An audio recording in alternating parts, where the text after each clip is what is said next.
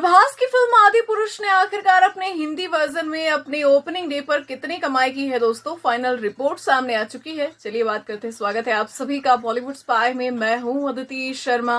तो दोस्तों, लगभग 140 करोड़ का बिज़नेस ये फ़िल्म वर्ल्ड वाइड कर चुकी है अपने ओपनिंग डे पर। और देखा जाए तो ये छोटा मोटा अमाउंट नहीं है। जिस हिसाब से इस फ़िल्म का क्रेज था लोग देखना चाहते थे कि आखिरकार प्रभास एंड ओम राउत जो है क्या कुछ लेकर आए हैं क्या कुछ नयापन है इसमें।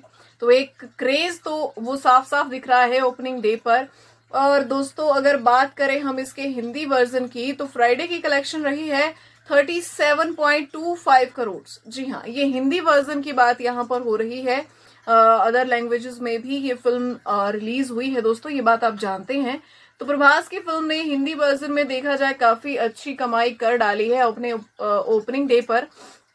अब देखना ये होगा कि सेकंड डे पर क्या कुछ करती है ये फ़िल्म एंड वैसे भी सैटरडे संडे आ रहा है तो ये फ़िल्मों के लिए कहीं ना कहीं जो है बहुत बढ़िया साबित होता है। असली टेस्ट होगा मंडे के दिन। आखिरकार ये फ़िल्म उस दिन क्या करेगी, वो भी देखना काफ़ी इंटरेस्टिंग होगा। तो क्या कुछ है कहना कि आपने देख ली है फ़िल्म और अगर देख ली है तो कैसी लगी? कॉमेंट्स में बताइए। मिलते हैं नेक्स्ट वीडियो में।